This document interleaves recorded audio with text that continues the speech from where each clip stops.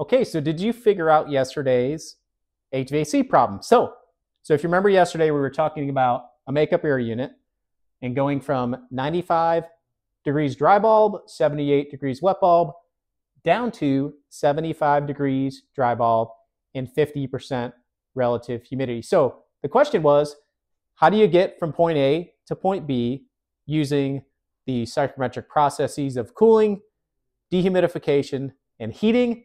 So an overall view of the psychrometric chart, when you're moving from right to left, you're sensibly cooling. When you're moving from a lower point to a higher point, you're adding humidity.